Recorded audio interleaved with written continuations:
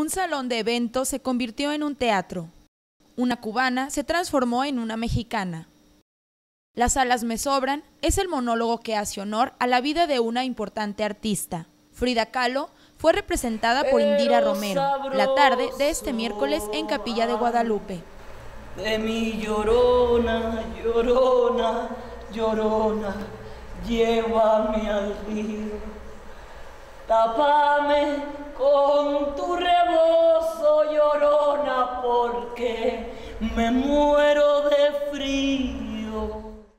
Alumnos de preparatoria fueron quienes presenciaron de esta puesta en escena, una que ya ha visitado varios países. Desde hace cuatro años, esta actriz ha representado a este personaje, y el guion es una recopilación de pasajes de su vida y cartas que ella escribió. Mi sueño. En mis ojos.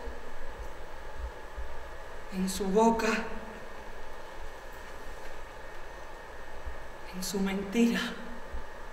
Vestuario, luces, música y utilería acompañan la presentación. A las dos de la mañana. Ay, qué bonito es volar, ay mamá.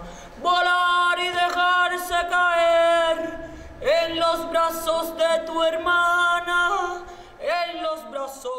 Con esta fecha concluyó la gira de estos tres actores cubanos en las seis delegaciones de Tepatitlán y el monólogo se podrá disfrutar de nuevo en la Casa de la Cultura, el viernes 16 a las 8 de la noche.